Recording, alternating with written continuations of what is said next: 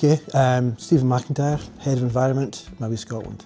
Firstly, at Mowi Scotland, protecting the environment is at the heart of everything we do. And that's why we've recently commissioned an independent environmental survey of Hourn, uh, the seabed and the waters around our fish farm. This was in response to reports of an environmental pollution incident in the water body. There are a lot of misconceptions around the environmental performance of fish farms and how we interact with, with the new environment. But it's important we acknowledge concerns when they arise and then we use our resources and capabilities to investigate, to monitor and then present, transparently present any observational field data that we collect so that people can then make more informed opinions as to the performance of the farm and our interactions with the environment. It's important to also recognise that there's been fish farming in Hourn for over 30 years.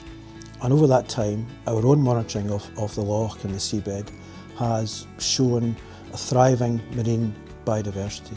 And this new independent survey further confirms those findings. From what we can see from the data collected, our mooring lines and the seabed around the farm are, are teeming with life, a range of, of important and sensitive species, including feather stars, uh, lobsters, crabs, anemones, soft corals, um, and a range of fish species, including small spotted cat sharks that we can see within the kelp habitats. So at Mowi, we take our environmental responsibilities seriously. We practice sustainable farming operations to ensure that we meet all our regulatory standards and thresholds and we take concerns that we are not seriously. And in this instance, as, as I've just described, we have investigated, we've monitored, we've collected data and we are presenting that data transparently so people can come to their own opinions on uh, how our farm is performing. So the results are clear. Salmon farming in Loch Hourn is not damaging the marine environment. In fact, we are coexisting with, with environment.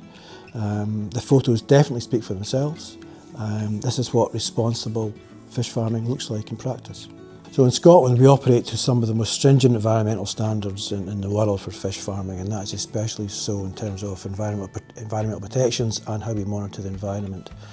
Uh, within Mowi we have a team of dedicated professionals who are responsible for monitoring our sites and we have an organisational commitment to go beyond our regulatory requirements which has been demonstrated recently by our, our new acquisition of a survey vessel which is now operating full-time monitoring our sites around the Scottish coastline.